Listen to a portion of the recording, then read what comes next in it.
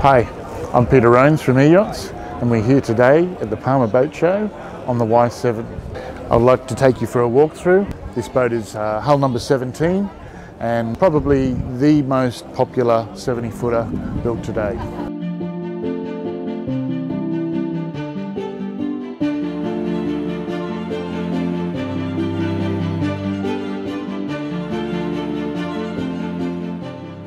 Under our feet we've got the large dinghy storage, also storage for uh, all the bits and pieces and parts and other toys can fit in here. Then we've got on the top of the boom the actual pulley system which comes out a little bit further, the little prodder, and then back onto the winch and uh, launching the dinghy. What that allows is actually no water uh, to, uh, to, to actually come into the boat or into the back of the boat also designed in such a way um, that it's going from port to starboard. What that means is you end up with a lot bigger aft cabins in the back of the boat. You've also got uh, the bathing platform, which is here, which goes down.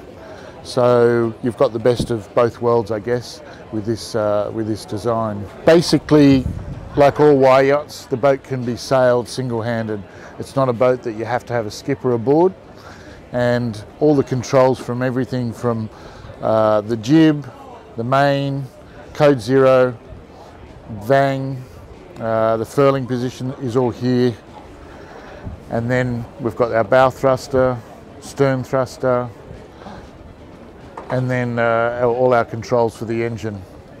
Uh, and when you see these two controls here, basically on the Y7, we've got a twin engine, twin rudder setup. Quite unique in this size boat. We've got lockers under here for all the all the uh, halyards and ropes and it's probably about half a metre or so deep. A great visual position, either sitting or standing here for the deck and the controls here for the winches. On the port side, we've got all the controls for the garage, garage lights, spreader lights, and a couple of spares, but cockpit lights are basically on the port side, uh, not controlling the uh, sails as much, but all the rest of the boat. Same uh, locker on the port side for your uh, leftover ropes. Going forward, you've got your instruments on the mast. Obviously you can have it on these B&G instruments, but also on this boat, quite a good little area there with a curved carbon background. We've also got the wind instruments on display there as we move forward. Nice drinks fridge here. Fit about 15 to 20 cans of beer in there. We've got the tables which actually fold out, so you pull this out and then the table folds over. And the same again on this side, so fantastic table area total when they're both out and uh, for entertaining for probably around probably at least 12 guests around the table. On this owner's boat, we've got the Bimini, I guess it's on a track system that comes through or awning system. And uh, this particular boat's set up with uh, in-boom furling. Uh, everything's more or less customized, whether it's the, the color of the teak or the, the cushion color. This is quite an interesting color, but doesn't seem to get very hot in the sun at all. Almost like a terry toweling which I guess is great for uh, when you're on there with your wet, wet swimmers. Working your way forward, nice big side decks. This is an area where they've got the bits and pieces for, you know, let's say your cleaning, cleaning materials. So nice, again, a locker that's deep enough. You'll see the beautiful carbon inlay through there. The Dodge is all hidden under the, the cover here, which is nice so you don't even know it's there most of the time. Coming forward, beautiful Antal cleats, obviously rod rigging. This is an Axxon rig, as we mentioned, with the uh, in, in, uh, in boom furling and a very, very strong Reckmann rod kicker.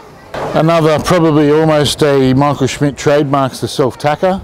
As we know, Michael from the back back in the days when he started Hanse Yachts, all the boats came standard and uh, the rig plan was made for a self-tacker, so a little bit bigger J section or uh, on the jib and, and the mast pulled back a little bit further to give you that extra power.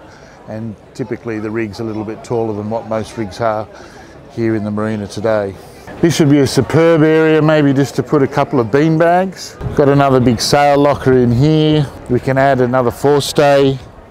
We've got the anchor, anchor system in here, fitted with stainless steel chain. And you'll see on the bow, integrated into the actual bowsprit is the anchor. And then you've got hydraulic furling, hydraulic mainsail. To get a good tension on the headsail on these, even a hydraulic system just to actually get the tension nice and tight is, uh, is recommended. I mean, the boat's been made very simple in the way the lines and uh, everything's hidden on the boat, but it's all very clean. Nothing to trip over here on the deck. And that's again, another probably Michael Schmidt trademark. So the market really for the YYachts is people who want to sail short-handed and, and cruise very, very fast. Whether they're racing or cruising with the family, they can do this as a team or a family together. But the beauty of the YYachts is it's a full carbon boat, but it's not just the carbon of the hull and the deck, it's also the furniture and keeping it all light. And I guess each customer is different in how they use their boat. And our job is to find out what they're going to do with the boat and then try and customize the boat to their requirements. Okay, and now we'll pop downstairs and show you uh, this beautiful, beautiful minimalistic interior. So here we are on the Y7 down below. As you can see, the full beam of the boat without all the cupboards in it is just, it's huge. You've got the galley here forward, nice little study. This is probably the most popular layout that we're about to show you in the range. They're doing one at the moment which has got the uh, fourth cabin, which would come across here and in that area, so you'd lose that study, but most of the Y7s that have been built up to today have uh, got this same layout. In the actual boat you'll see drawers and things like this all the way through underneath. All the furniture, I mean it's a, as we know it's a carbon boat, but all the furniture in the boat it's a foam filled so whether it's the floors and it's all foam filled to just get that lightness down because you're probably only going to be saving maybe 800 you might get up to a ton in this size boat just with the carbon structure but to uh, to get that extra lightness and better performance, Michael's also done all the furniture in uh, in foam as well. So yeah, these are pretty cool. The way the uh, almost like the trams or trains, nice little leather finish. The panoramic, you're not 360, but you've got like 270 degree view. I can see right through these windows, curved glass all the way around. Lots of light coming in from the four hull windows in the saloon. Plus, uh, the moment we've got the air conditioning on and the hatches open, but it's beautifully cool in here. I think this is probably the spot to be. We'll be here, and then we've got the TV over here, which is just beautiful. You can see through the hull windows. You can see what's going out right around the boat, close to the galley. So I think this is one of the best spots in the boat inside. We've got storage also in the seat here and probably seating for around, around seven, maybe eight people in the uh, dining area. We step down now into the galley where we've got two, we've got fridge freezer here, which are the drawer ones. Nifty little, put all your bits and dust and pieces. Pops into here, little magnet here for all your scraps and back into the bin.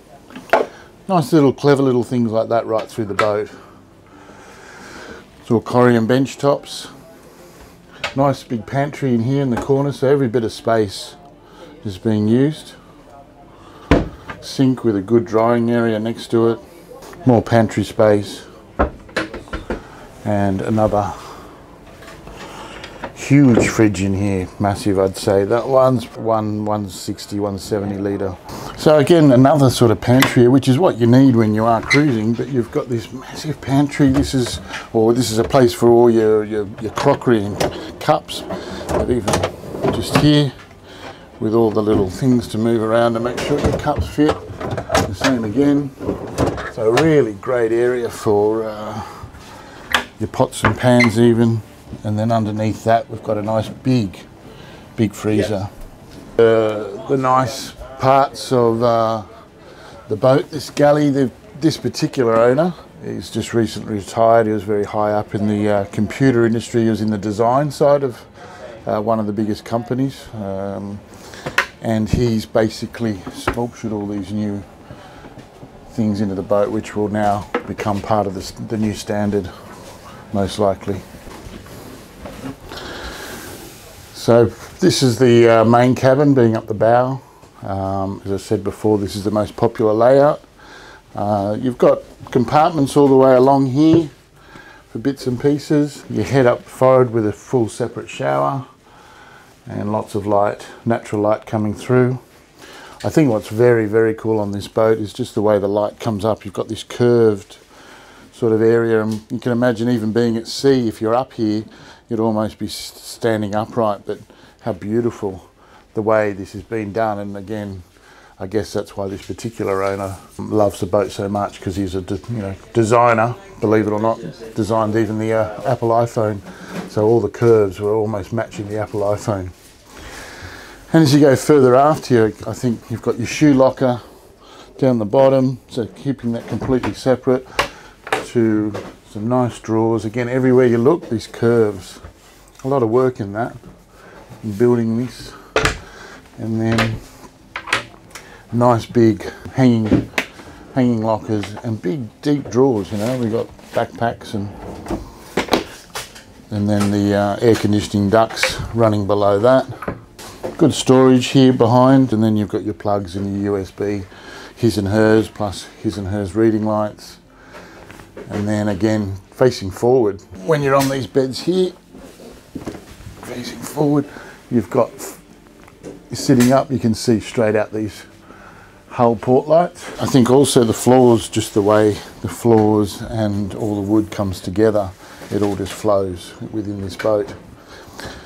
Michael's also got these designers which you know is doing all this very intricate detail. It's just small stuff. I mean it's just this small everything you know it's not afterthought. Again up on the cabin on the fore uh, fore cabin there on the bulkhead. Also even just the light switch how cool. Retro. It's just that detail. The doors, the way they go and the full seal on the doors and the, the hinges and again just a simple clean very solid feeling door. Here in the nav station again look at the seat, the detail that goes into it. Very simple. You've got here your chart plotter and easy to get to all the electronics behind. Opening nav area and then you've got your CZone here which uh, can operate virtually everything from your lights outside, your bar fridge, engine controls, steaming light, etc. Nice white wide area coming down just two steps, beautifully again detail here of the, the leather on the handle. Basically your three battery switch straight on, nothing nothing hard there when you first hop on the boat. And then this is uh, the aft cabin, which is repeated on the port side. Lots of lockers all the way through. And here's your washing machine dryer underneath. It's nice and easy to get to. Uh, hanging lockers. And there's your, your head up forward. And then for this owner again, small little customizations for the owner as we talked about in the uh, study area of just scalloping out area for his pencils and things.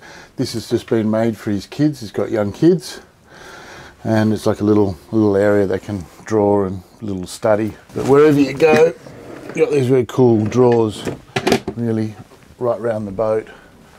You got some ventilation, there's three opening hatches in here, plus some open area here for their gear and again USB power on on both sides.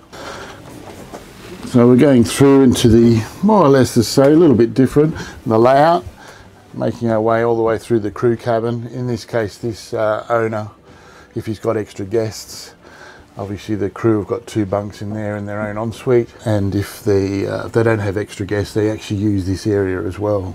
And in here is just just a toilet with a uh, shower inside full storage under the, the bunk beds here and their own uh, air conditioning control for this area. And then they've got their escape hatch here as you go up some carbon carbon steps. A nice touch. So thank you for joining us on the Y7. We hope to uh, get you on board the Y8 and the Custom 9 very, very soon. But the Y7 has been probably the uh, most popular 70 footer, not just in the range, but in this market sector. Michael's done such a good job with the boat, whether it's the biggest sort of saloon area, the boat that performs best, and then also things like which we've seen already the, the fantastic garage at the back. So the combination of the whole boat, it's very hard to fault it. And we look forward to uh, getting you on board very soon. Otherwise, like and, and subscribe, and uh, we'll see you soon.